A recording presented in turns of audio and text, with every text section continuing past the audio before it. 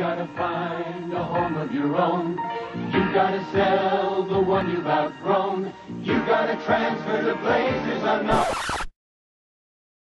What's special about Century 21 agents? It's all about focus and persistence and staging assistance. They're some kind of hybrid bear bulldog breed crossed with all kinds of tough animals that are stubborn about achieving their objectives, which in this case is selling your home. They're part rainmaker, part sunshine maker, which seem like opposing forces, yet somehow they make it work. They have the sentimentality and warmth of a greeting card and the amazing analyzing power of an industrial strength computer, like that big computer that beat that Russian guy in chess that one time.